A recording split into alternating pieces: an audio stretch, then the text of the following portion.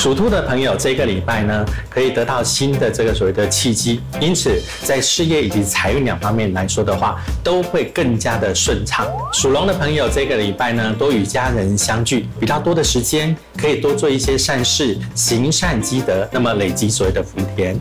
属蛇的朋友要特别小心这个礼拜尽量不要跟人家有所谓的争执。那记得控制自己的脾气冷静思考相信你做任何事情就会变得更加顺畅。